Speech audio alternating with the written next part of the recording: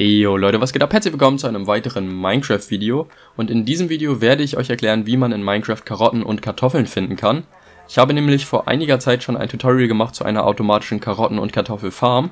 Allerdings habe ich nicht erklärt, wie man tatsächlich die ersten Karotten und Kartoffeln jetzt in seiner Welt finden kann. Und dafür ist jetzt eben dieses Video, in dem ich euch erkläre, wie man das eben schafft, wie man die findet, die ersten Karotten und Kartoffeln. Und ich würde sagen, wir fangen auch direkt an damit. Also, es gibt insgesamt zwei sehr gute Möglichkeiten, um in Minecraft Karotten und Kartoffeln zu finden.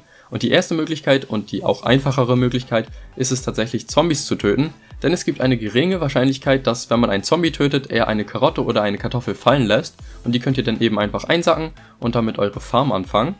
Und am besten schnappt ihr euch dann einfach in der ersten Nacht zum Beispiel schon ein Schwert und lauft dann draußen rum und versucht Zombies zu töten. Das ist eben eine sehr einfache Möglichkeit. Was man allerdings natürlich noch viel besser machen könnte, ist es einen Zombie-Spawner zu suchen und wenn man einen gefunden hat, kann man da eben ähm, gezielt Zombies töten, denn wenn man draußen rumläuft in der Nacht, dann sind da ja nicht nur Zombies, ähm, was natürlich ein bisschen blöd ist, weil wir suchen ja in diesem Fall jetzt nur Zombies, weil nur Zombies eben Karotten und Kartoffeln fallen lassen können. Oder was man auch machen kann, ist es eine Monsterfarm zu bauen. Da kann man dann ganz einfach AFK gehen und ein bisschen abwarten und irgendwann hat man da ganz viele Zombies und wenn man die dann tötet, am besten natürlich mit einem Plünderungs-3-Schwert, das sorgt nämlich dafür, dass das noch ein bisschen wahrscheinlicher ist, dass sie eine Karotte und Kartoffel fallen lassen, ähm, könnt ihr das Ganze natürlich noch etwas beschleunigen und an sich ist so eine Monsterfarm natürlich auch sehr gut für alle möglichen anderen Items und natürlich auch für er Erfahrungspunkte.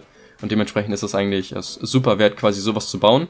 Zu so einer Mobfarm habe ich übrigens auch schon ein Tutorial auf meinem Kanal. Könnt ihr euch gerne anschauen und dann könnt ihr damit vielleicht ähm, Karotten und Kartoffeln eben ganz einfach farmen. Und die andere Möglichkeit, wie man an Karotten und Kartoffeln gelangen kann, ist es tatsächlich ein Villager-Dorf zu finden. Denn Villager bauen tatsächlich Karotten und Kartoffeln an in ihrem Dorf.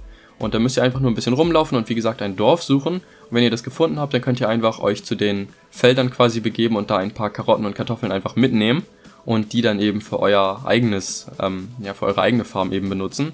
Und das ist jetzt eigentlich so das ganze Geheimnis, wie man in Minecraft Karotten und Kartoffeln finden kann. Natürlich ist es ein bisschen schwierig, erstmal einen Zombie zu finden, der das Ganze auch droppt, das weiß ich.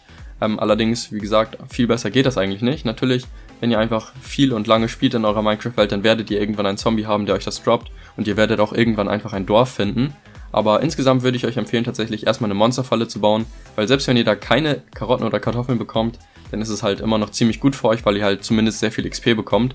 Und das ist natürlich sehr viel cooler, als dass ihr irgendwie stundenlang rumlauft und kein Dorf findet.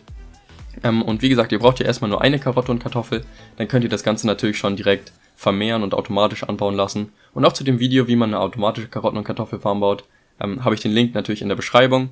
Und ich würde sagen, wenn ihr ein bisschen geschaut habt, schreibt mal Hashtag Kartoffel in die Kommentare. Und ansonsten wünsche ich euch viel Spaß mit, dem, mit den anderen Videos, die ich gemacht habe. Und ich hoffe, dieses Video hat euch weitergeholfen. Bis zum nächsten Mal. Haut rein und ciao.